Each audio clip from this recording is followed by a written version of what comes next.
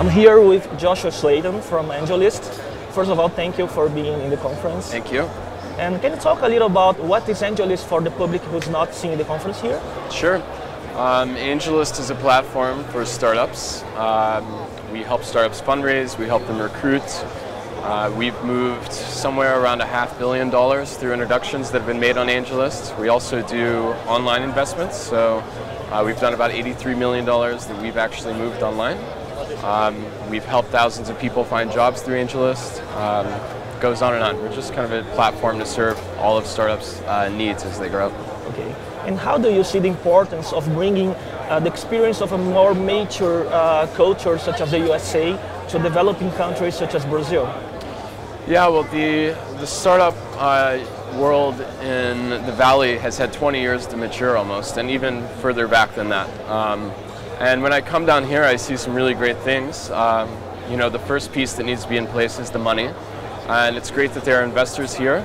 And even more exciting with the kind of stuff that AngelList is doing, uh, money can move across borders much more easily. So, uh, for example, Descomplica, which is a big uh, success story in startups in Brazil, Yeah. They actually raised some money on AngelList from US investors. Oh yeah. Um, so it's good that the money can cross borders. I feel like the culture is crossing borders as well. Uh, it's great to come down here and talk to uh, entrepreneurs uh, about culture and building companies and things like that. So I think that's kind of the next step uh, in the spread of the influence from the Valley. We talked a lot about talent, people, talented people, and the importance of uh, culture and resiliency and self-awareness. Uh, can you talk more about this? Yeah, um, I, I think the modern startup is getting leaner and leaner, and Oh yeah. Um, there's so many people out there with experience being founders themselves or running their own projects. Um, so I really advise people when they build companies to try to get as much of that experience inside the company as possible.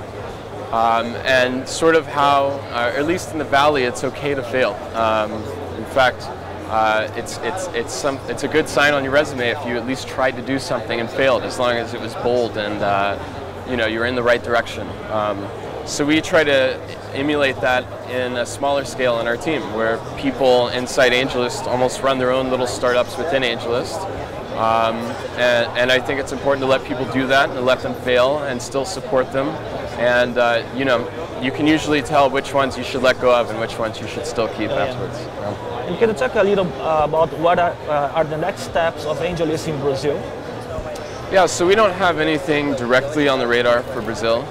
Um, you know, I've heard some really great stories of people already just walking around the conference that have found jobs or co-founders, or um, as I said, Descomplica.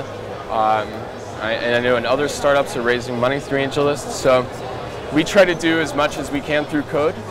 Um, right now, we're experimenting in the UK, um, opening up that market with some people on the ground there. And depending on how that experiment goes, uh, I could see maybe in the future we'll come to Brazil because You it, roll out this experience to countries such as Brazil. yeah, uh, it looks like it's certainly a hotspot for startups. Um, so I wouldn't be surprised at some point down the road we, we put some people on the ground in Brazil and try to see if we can open the market here. Okay. So Joshua, have a nice time in Brazil, Thank you. and thank you for being present here. Thank you. Thank you very much.